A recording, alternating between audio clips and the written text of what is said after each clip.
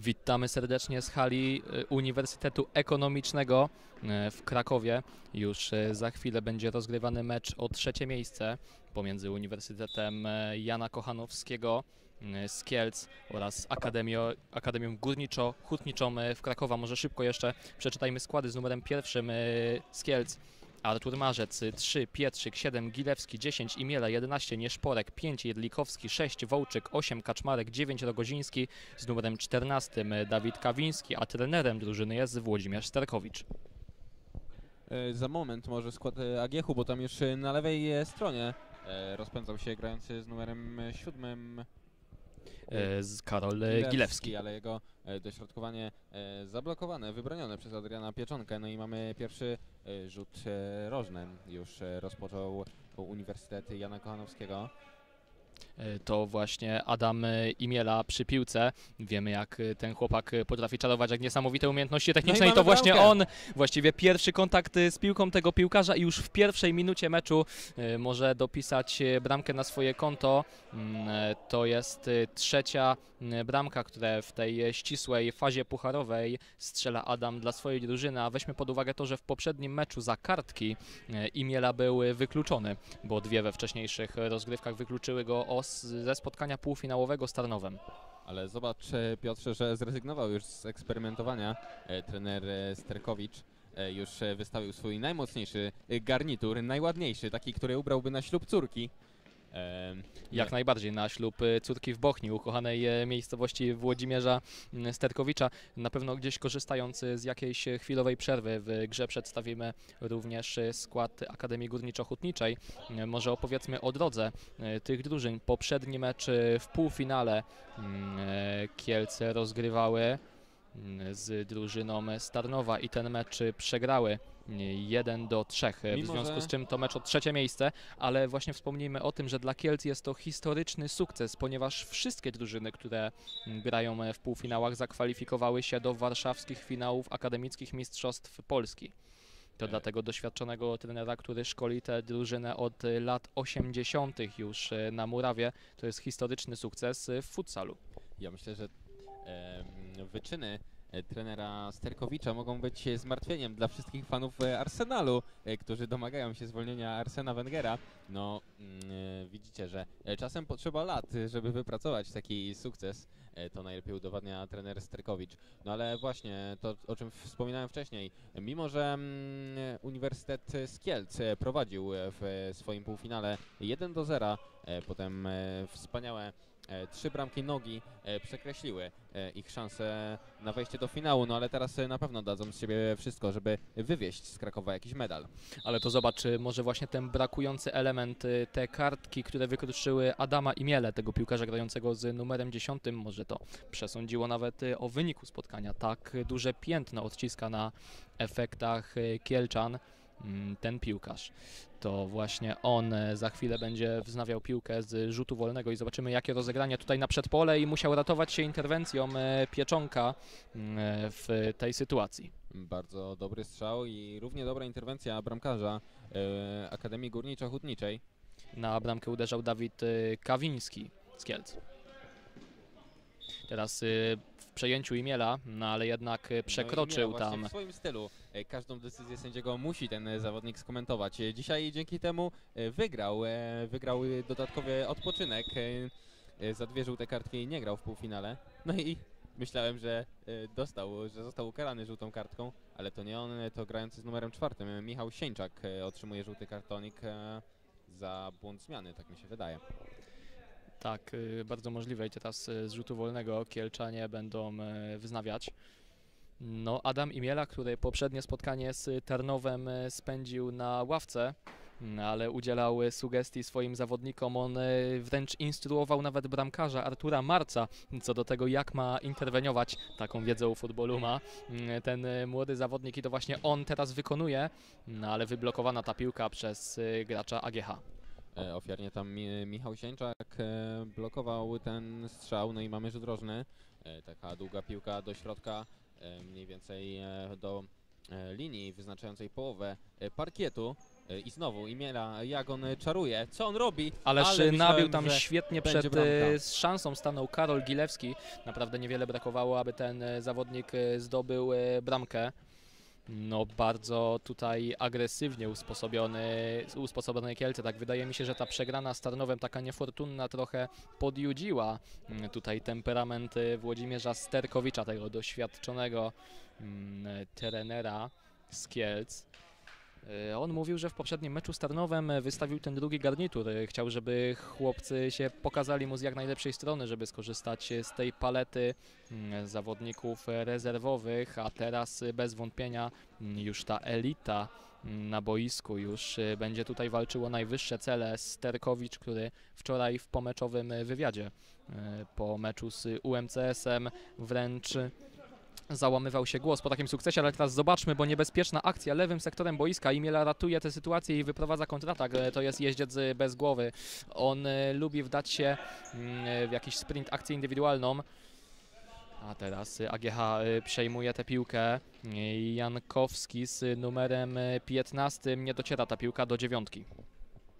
Nie dociera ta piłka do dziewiątki, a do Pawła Słoniny, ale będziemy mieli aut dla Agiechu gdzieś tam e, po nogach e, zawodników e, z Kielc. Ta piłka się przetoczyła.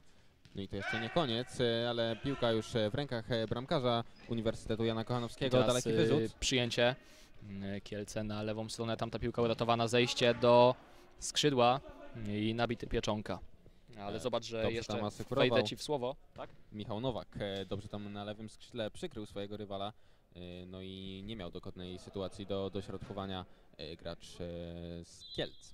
Tak, y, zauważ, że jeszcze cały czas wracając do Adama i Mieli, on w każdej sytuacji pokazuje palcem, gdzie ta piłka ma pójść, gdzie mają zagrać, jak zawodnicy mają się ustawić. Dyryguje tutaj tym zespołem, nawet można powiedzieć, że o wiele bardziej aktywnie niż Stergowicz, który podparty obserwuje przebieg spotkania. No dopełniają się może tutaj jak yin i yang, jak ogień i woda Włodzimierz Sterkowicz, trener Kielc z Imielą. Ale może takie podparcie coś znaczy, no my nie wiemy. Wiemy, że e, w baseballu jest e, dużo takich e, nie, znaków, których przeciwnik ma nieraz czytać. Może trener Sterkowicz właśnie takim znaczącym podparciem sugeruje coś swoim zawodnikom. No i zobaczmy, bo tu jest e, bardzo e, blisko do bramki, jakieś 8 metrów. Tak, i chyba nie muszę mówić, kto będzie wykonywał y, ten rzut wolny i kto strzela bramkę.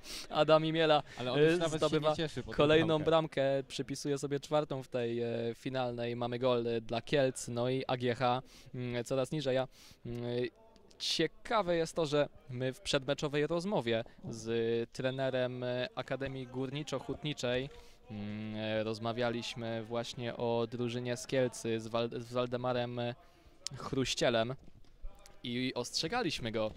E, Panie trenerze, proszę uważać na tego zawodnika z numerem 10, bo mm, no niezłe piekło e, potrafi zgotować e, swoim przeciwnikom. To on właśnie, e, do niego piłka kierowana na prawe skrzydło, no ale nie dociera do adresata. Tam jeszcze Karol Nieszporek e, uwikłał się w akcję.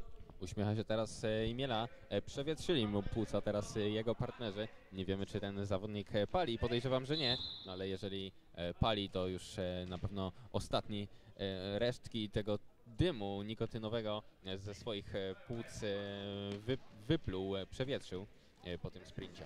Jednak e, wiemy na pewno, że zawodnicy z Kielcy nie mogą e, zbyt dużo świętować, ale teraz e, zobaczmy, e, odbiera tę piłkę Karol e, Gilewski, wygrywa pojedynek, ale wznawiać będzie, no tak, wygrywają z pozytywnym zakończeniem dla swojej drużyny, bo to właśnie Kielce będą e, wznawiać i krótkie rozwiązanie tutaj e, Pietrzyk e, z Gilewskim. E, Spokojnie odegranie do Karola Gilewskiego i s- mm, będą konstruować te akcje zawodnicy z Kielc na spokojnie, bo przecież im się już nie spieszy. Mówiliśmy wczoraj e, w meczu e, ćwierćfinałowym dwóch drużyn e, UMCS-u i właśnie Akademii e, Uniwersytetu Jana Kochanowskiego o tym, że trener UMCS-u nie ma gdzie usiąść. E, Wyjątkowo szczupła teraz e, ławka e, rezerwowych e, graczy, zawodników e, z Kielc. E, Trener Sterkowicz, gdyby chciał, mógłby się tam nawet położyć e, na tych krzesełkach, no ale on stoi e, stoi, na pewno e, przeżywa to spotkanie gdzieś e, w głębi e, serca. E, Wie, że to e, historyczny sukces, a może być jeszcze piękniej. A teraz zobaczmy, bo bardzo gęsto na boisku się zrobiło w bardzo wysokim e, pressingu AGH. No, oni muszą tutaj e, walczyć o te bramki, o to, kto zajmie trzecie miejsce Tam, e, w na e, prawym tym e, turnieju. skrzydle Sebastian Herbuś się próbował e, sztuczkami technicznymi zwieść e, swoich rywali, natomiast e, nie przynosi to pozytywnego skutku od autu. Będzie rozpoczynała Akademia Górnicza-Hutnicza. E, Krótkie wznowienie. I bardzo dobrą interwencją musiał się wykazać Artur Marzec po tym strzale i o czas e, prosi Włodzimierz e, Sterkowicz. Myślę, że to jest moment, w którym możemy przeczytać e, skład Akademii Górniczo-Hutniczej. Tak, myślę, że końcówka pierwszej połowy to właśnie idealny moment, żeby przeczytać ten skład, więc w bramce z numerem 99 Adrian Pieczonka, dalej Herbuś, Sieńczak, Sztuk, Słonina, Frączek, Domino Wąsikowski, Bezkosty, Jankowski, Nowak i Tumiłowicz. Trenerem, tak jak wspominałeś wcześniej, jest e, Waldemar Chruściel. Jeszcze wspomnijmy o tej drodze Akademii Górniczo-Hutniczej do tej walki o trzecie miejsce. No niestety mm, krakowianie e, w derbach e, Krakowa e, przegrali z Uniwersytetem Ekonomicznym, który jest gospodarzem e, całego turnieju. Przegrali mm, 2 do 0, a drużyna z Kielc e, została pokonana przez Tarnów. Tam odnieśli porażkę 1 do 3.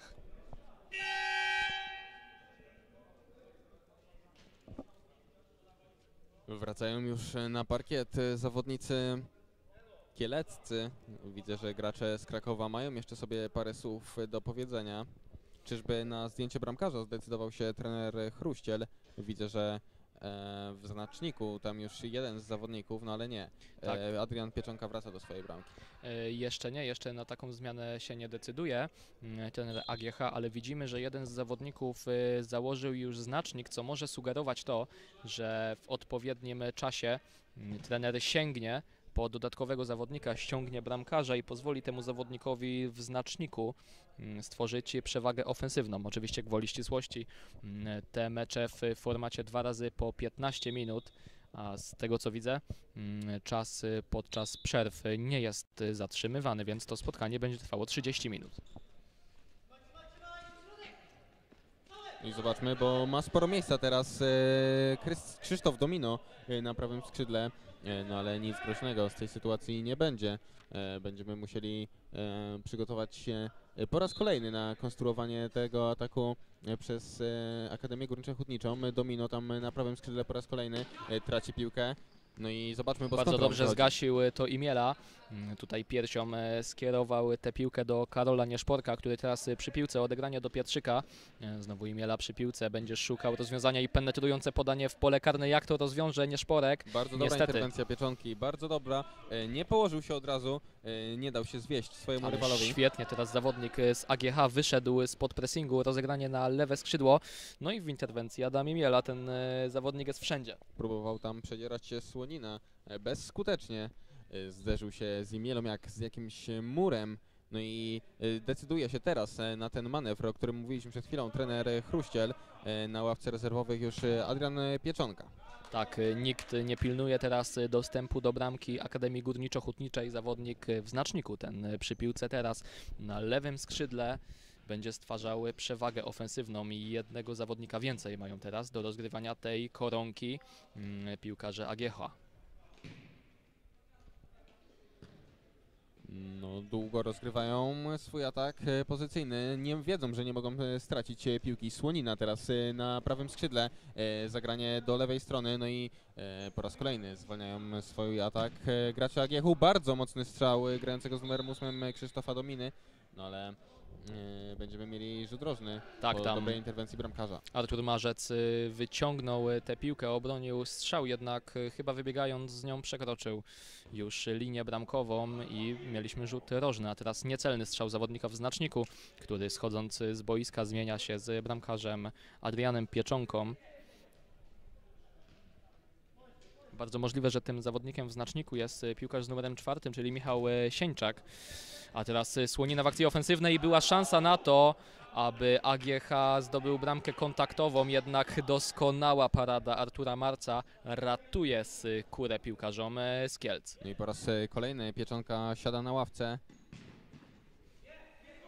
No i zobaczmy podanie w pole karne. Teraz e, zagranie do środka, przed pole karne. Pusta bramka, no ale nie ma mowy tutaj o, o golu. E, niedokładne uderzenie. Tak, y, przybili sobie piątki zawodnicy z Kielc, bo ta próba Karola Nieszporka, taka sytuacyjna, była co prawda trudna, ale mm, ambitna i mogła zaskoczy, zakończyć się jak najbardziej sukcesem. Niecodzienna sytuacja, bo zawodnik z pola Agiechu teraz z piłką w rękach, a Imiela krzyknął ewidentnie motyla noga po tym uderzeniu. Mm, W taki właśnie sposób wyczytałem to z ruchu ust, y, zaklął Imiela po niecelnym strzale. No i miałeś rację, teraz możemy to potwierdzić. Michał Sieńczak jest zawodnikiem zastępującym Adriana Pieczonkę. No i- ale znów zmienili się ci zawodnicy. E, Kiedy e, UJK konstruuje swoje akcje, e, Pieczonka wraca między słupki swojej bramki. Tak, to będzie taki zawodnik do zadań specjalnych w tym meczu, bo nie ma co tutaj kalkulować. AGH musi rzucić się do odrabiania strada. Teraz znaleziony Imiela, czy on wykończy tę sytuację, ale świetnie z partnerem dograł tę piłkę na lewą stronę do Pietrzyka. No mówiliśmy o tym e, w poprzednim e, dniu wczoraj, że Imiela to jeździec bez głowy, że daje się ponieść emocjom, ale dzisiaj nie tylko zdobywa bramki, ale również doskonale asystuje. To jest to ogniwo, którego chyba Starnowem zabrakło. No zupełnie inaczej mogłoby to wyglądać, gdyby Imiela był na parkiecie. No ale e, to już jest historia, oczywiście czasu nie cofniemy. E, Trzeba by było tutaj starać się uspokoić wczoraj tego gracza. Niepotrzebne dwie żółte kartki. No ale e, wiemy, że trener Sterkowicz już spełnił z nawiązką swoje założenia na ten turniej. Tak, e, jak najbardziej, szczególnie świętowali po tym, jak e, wczoraj udało im się wyeliminować lubelski UMCS. Załamany był trener Bielecki po tej porażce swojego lubelskiego zespołu. Widzieliśmy go potem e, w szatni, potem gdzieś tutaj na korytarzach. Stan przedzawałowy. Mm, To myślę, że co najmniej stan zdrowia tak można określić takim określeniem stan zdrowia trenera Bieleckiego z Lublina. Zakończyła się pierwsza połowa spotkania i słyszymy się za kilka chwil w drugiej odsłonie.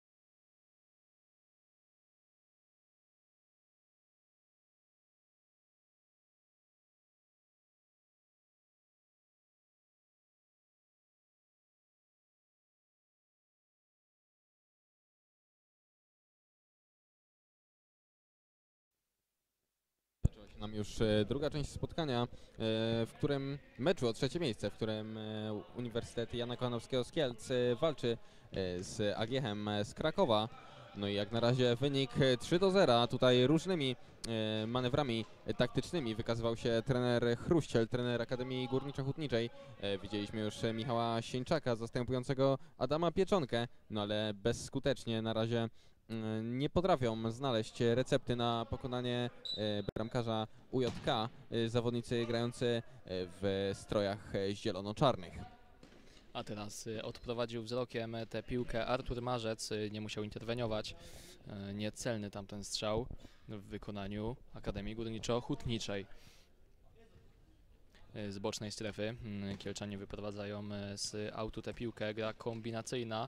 To to, co wychodzi im najbardziej. Ci mm, niscy zawodnicy, bardzo dynamiczni, y, szybcy są y, Kielczanie w tym spotkaniu i strzelają No mnóstwo bramek. Teraz e, prosta strata, podanie do Słoniny. E, Ten e, zagrywał do grającego z numerem 14 Patryka Bezkostego, a ten z najbliższej odległości e, pudłuje.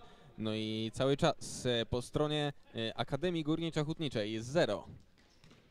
Daleki wyrzut e, teraz e, do Imieli. E, Ten walczy. Nie ma faulu, tak orzekli sędziowie, a to bardzo dziwne. Wydawało mi się, że podścinany tutaj nieprzepisowo zatrzymywany był Imiela. No ale innego zdania byli arbitrzy. Teraz ten zawodnik czaruje po raz kolejny. Przy nim Oj. Y, Teraz wdali się wręcz w pojedynek na pięści y, zawodnicy, ale no Imiela nie odpuścił, ewidentnie faulowany, a mówiąc o tej bramkostrzelności, to 20 bramek y, do tej pory mm, y, zdobyli, a licząc jeszcze te, no to ponad y, 20 bramek na koncie Kielczan, ale teraz odprowadzona ta piłka spokojnie przez AGH.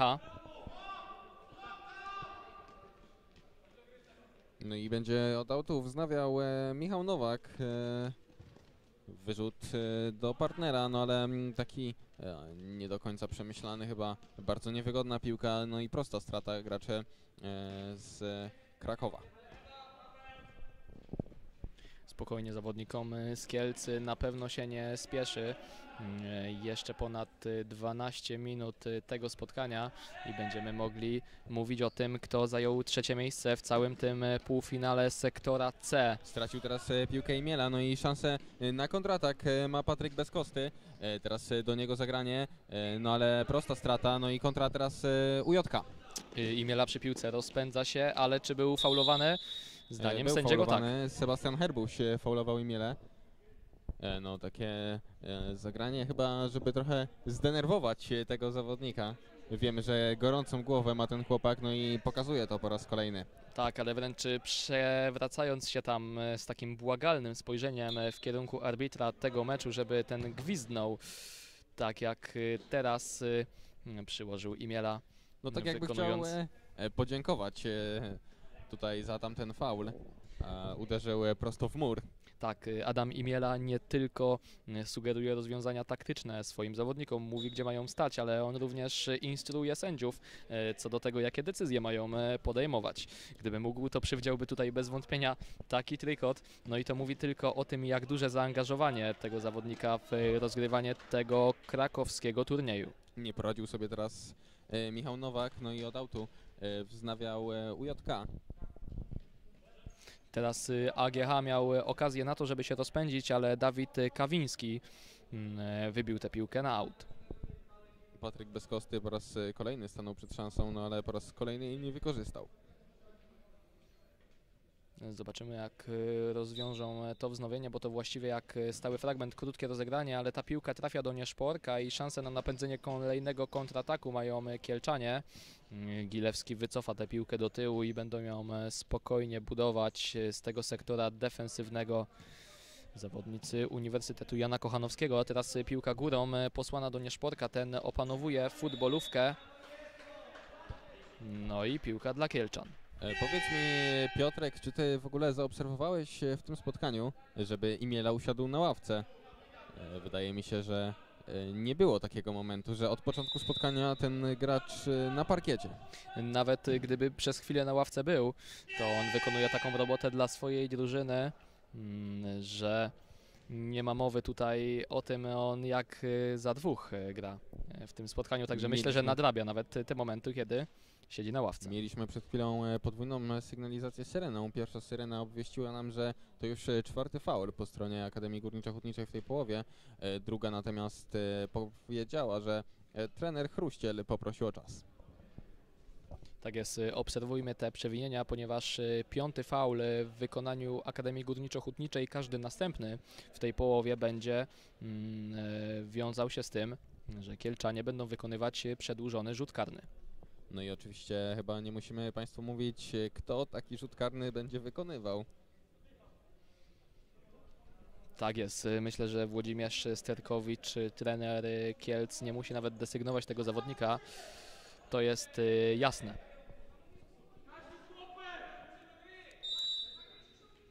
No i po raz kolejny z bramki schodzi Adrian Pieczonka.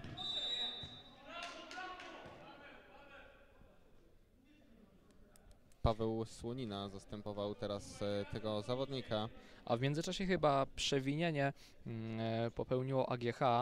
Y, Po prostu piłka została znów zagrana do bramkarza, do tego zawodnika w znaczników y, pole karne. Mm, No możliwe, że tutaj taka zaszłość i szanse na wznowienie mają Kielce. No i wyratowana ta piłka, ale znowu po obwodzie do Imieli. Ten nie zdążył opanować piłki. Kawiński, Imiela.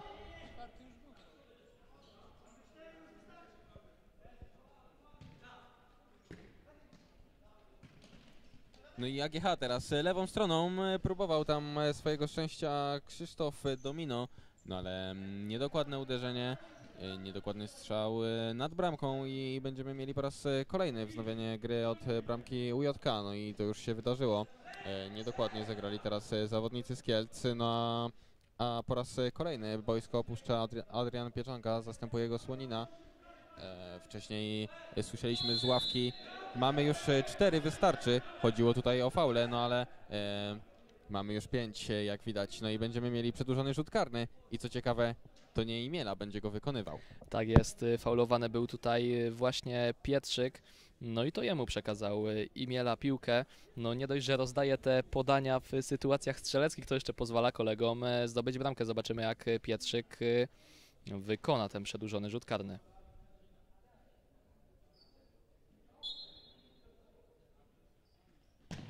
I mamy bramkę, ależ pewnie y, wykonał ten strzał Pietrzyk i zdobywa kolejną bramkę w tym turnieju. Po, pokazał nam tutaj Pietrzyk, że to e, on e, wykonywał ten rzut karny. Przypomniał jeszcze, jak się nazywa. Tak, e, to Pietrzyk. E, proszę Państwa, Pietrzyk, e, długi rozbieg. E, Ależ to była celebracja, naprawdę niecodzienna. Mm, Piotrek Pietrzyk wie, gdzie znajduje się mm, nasza redakcja i przedstawił się mm, z nazwiska, celebrując tego że- gola. że to taka, że może jakiś początek nowej ery w futbolu, że piłkarze będą nosić ze sobą wizytówki i rozdawać je komentatorom po zdobyciu bramki. Tak, e, szczerze tutaj machnięciem e, Piotrek Pietrzyk e, pozdrowił wszystkich swoich fanów z Kielc. No i w gazie ten zawodnik, ale bomba teraz, e, potężne uderzenie. Niestety dla UJK niedokładne. E, mi, ale wysłupek e, bramki strzeżonej przez pieczątki i ten strzał. No tak, e, Pietrzyk jest nie tylko głodny dzisiaj wygranej, ale również sławy. Mamy nadzieję, że woda sodowa nie uderzy do głowy tego zawodnika i że ten mecz zakończy się fortunnie dla Kielc, bo oni już prowadzą 4 do 0, a AGH nie znajduje. No już e, 4 do 1, a bramkę zdobywa Patryk Bezkosty. Zamieszanie, trochę bilarda, trochę ping-ponga mieliśmy w polu karnym. No i e, z najbliższej odległości do pustej bramki Patryk Bezkosty e, dobija piłkę. Tak, e, udało się ją tam e, zmieścić w siatce w tym gąszczu nóg. Gdzieś tam znalazł się zawodnik AGH. Mamy 4 do 1, no ale jeszcze trzy bramki dzielą obie drużyny. Do końca spotkania niespełna 7 minut. No, próbował tutaj wymusić teraz e, faul Imiela, ale sędziowie e, powiedzieli, że nie ma mowy. No i teraz e, długo utrzymuje się przy piłce Michał Sieńczak. Podanie do Bezkostego, no ale ten nie przejmuje piłki i będziemy mieli wznowienie od autu przez UJK. Ale zobacz, że Kielczanie mają na tyle solidną defensywę, na tyle dobrze w niej pracują, że Imiela nawet e, może tam wylegiwać się na środku boiska. Mm, I ta piłka zostanie i tak e, odebrana, tak jak e, teraz. e, Świetnie Adam Imiela utrzymuje tę piłkę na boisku. Czaruje tutaj niezwykle, ucieka na zewnątrz i piłka wybijana. Bardzo dobra interwencja Michała Sieńczaka. Będziemy mieli wznowienie od autu przez Imielę, no ale Imiela może wylegiwać się już na środku parkietu, bo jest bardzo zmęczony. Przecież, tak jak wspominaliśmy, on praktycznie w ogóle nie opuszcza parkietu. Chociaż e, oczywiście miał szansę na to, aby odpocząć, kiedy to był wykluczony z e, spotkania z Tarnowem. No i nie udało się opanować e, Kielczanom tej piłki. I AGH może wznowić piłkę z sektora bocznego. Oj, teraz błąd. błąd i Miela wykańcza tę sytuację. Fatalnie zachował się Krzysztof Domino. E, prosta strata, bardzo prosta strata. No w takiej sytuacji nie mógł sobie pozwolić na coś takiego. E, zły teraz na siebie ten zawodnik, no ale e, ładne zachowanie zawodników e, z AGH. Żaden z nich nie zgłasza żadnych zastrzeżeń do gry Domina w tym momencie. No nie w sosie na pewno po stracie tej piłki mogą być zawodnicy, ale tutaj nie ma o co się martwić, dlatego że wczoraj Akademia Górniczo-Hutnicza wywalczyła sobie uczestnictwo w akademickich mistrzostwach polskich w Warszawie. Teraz spójrzmy, bo przedziera się środkową strefą AGH i ta piłka znajduje drogę do siatki z numerem 15. Zawodnik Akademii Górniczo-Hutniczej Jankowski umieszcza piłkę w siatce. E, No i bardzo podobna sytuacja do poprzedniej. E, Też e, strata bramki po takim zamieszaniu, też do pustej bramki z najbliższej odległości gracz Akademii Górniczo-Hutniczej wpakował piłkę.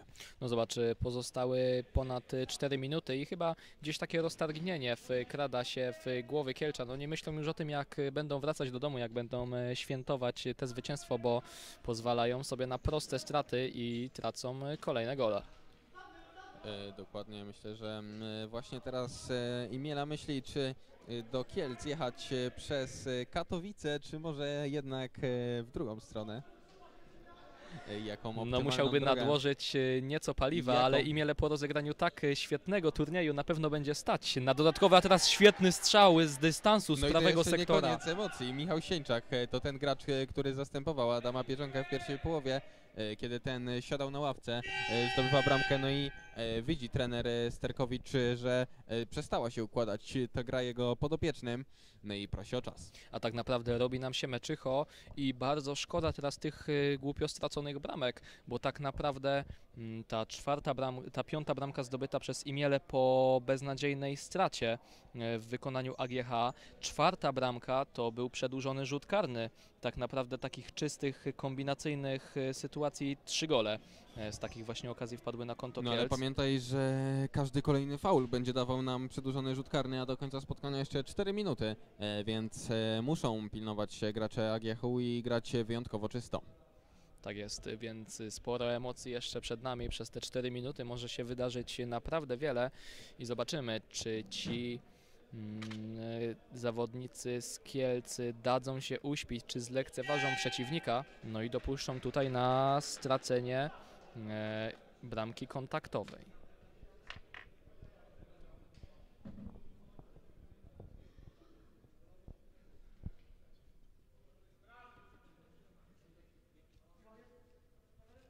Cztery minuty i 3 sekundy przy takim e, stanie, e, przy takim e, czasie rozpoczyna się nam e, ta e, kolejna akcja. Myślałem, że UJK, no ale prosta strata. No ale równie prosto tracą teraz gracze AGH-u, mimo to faulowani byli ci zawodnicy. No i po raz kolejny z bramki schodzi pieczonka i przy pustej bramce będą rozgrywać swoją, swoje ataki gracze. E, Podanie na lewe skrzydło, tam rozpędzał się Domino, no ale nic z tego. E, Wycofują teraz e, zawodnicy e, AGH-u, bardzo odważnie tam w dribbling wdał się Sieńczak. Ale teraz strata piłki, niewiele by brakło, a Kielce mogłyby się odgryźć. Teraz tam Ale to jeszcze nie koniec, mamy bramkę! bramka! Coś Bramka kontaktowa dla Akademii Górniczo-Hutniczej po raz Jankowski. drugi. Wojciech Jankowski zdobywa gola w tym meczu. No i te trzy minuty będą naprawdę gorące. Nie spieszą się gracze UJK teraz e, ze wznowieniem, no trudno im się dziwić. E, Trzy minuty, a e, e, wyczuł krew jak taka e, pirania e, biegnąca w stronę rannego konia, czy płynąca w stronę rannego konia. Mamy faul! No i wyłożył się teraz y, Imiela, ale pretensje y, całego sztabu Akademii Górniczo-Hutniczej, bo kwestionują decyzję arbitra o tym, czy aby Adam Imiela nie zanurkował, czy aby te y, wakacje spędzane w Egipcie nie nauczyły go nurkowania. y, Bo to jest kolejny faul AGH, który skutkuje przedłużonym rzutem karnym. Możemy się zastanawiać, czy dobrą decyzję podjął sędzia, który jest y, znany z tego, że lubi skomentować nie jeden mecz.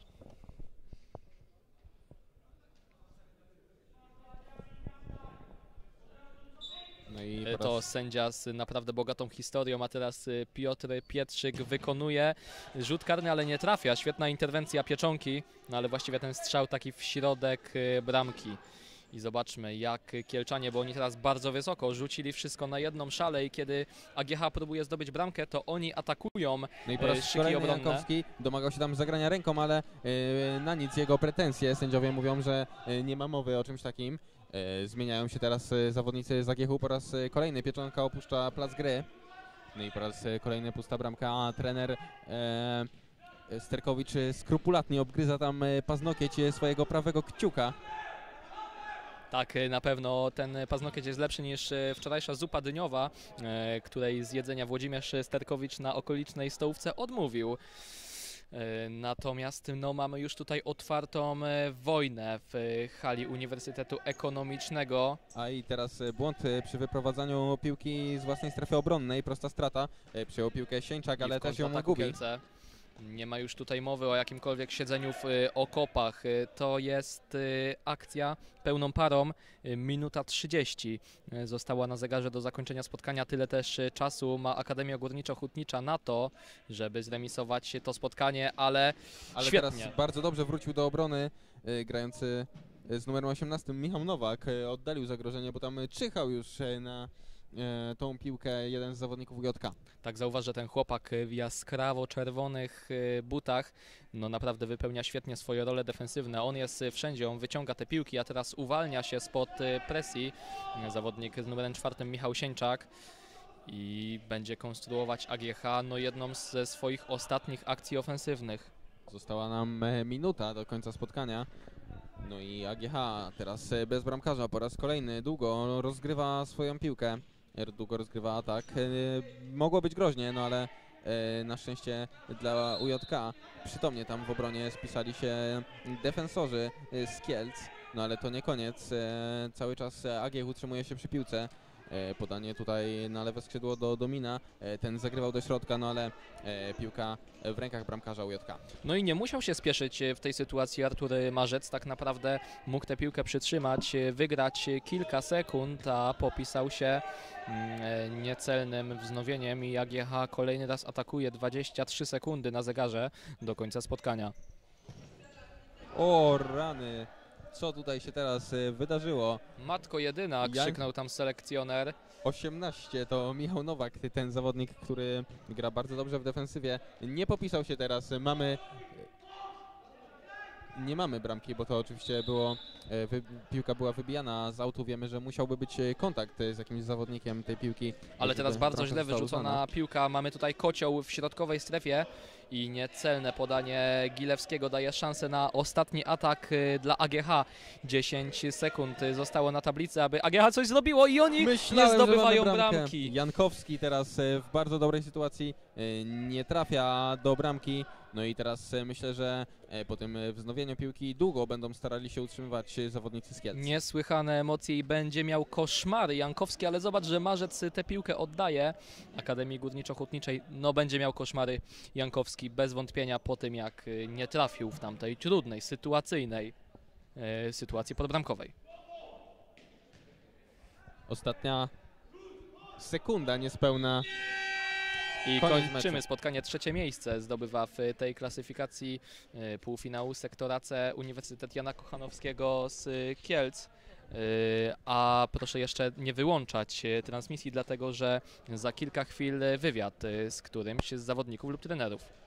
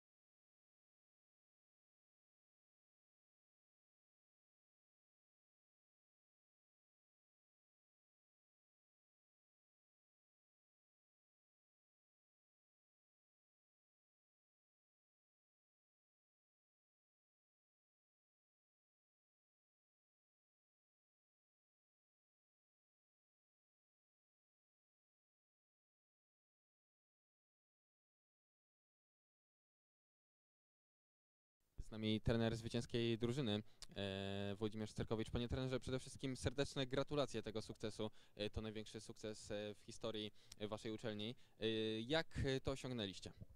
No nie jest to w historii uczelni największy sukces.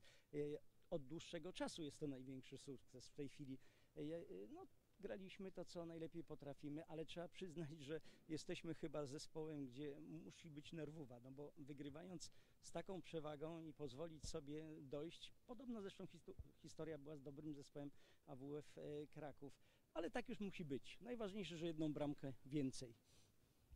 E, jak będziecie świętować e, to zwycięstwo? W podróży nie, nie, nie planujemy niczego takiego. E, No to czy chciał Pan kogoś wyróżnić, może komuś e, podziękować, bo to przecież już e, czas na podsumowanie tego turnieju dla Was. I jeszcze na koniec, jak będziecie się przygotowywać do turnieju w Warszawie? Gramy w Kielskiej Lidze Futsal i poprzez tą grę również będziemy się przygotowywali. Mamy spotkania również na treningach. Wyróżnić kogo chciałem, cały zespół. Cały zespół naprawdę jak chcą, to potrafią naprawdę dobrze zagrać. Troszeczkę podeszliśmy do pierwszego meczu. Chciałem wypróbować zawodników jak gdyby drugiego planu, ale e, no nie wyszło, a tym razem musieliśmy już zagrać w najsilniejszym składzie, żeby ewentualnie wydrzeć to trzecie miejsce. No to jeszcze raz e, serdeczne gratulacje i powodzenia na turnieju w Warszawie. Nie dziękuję.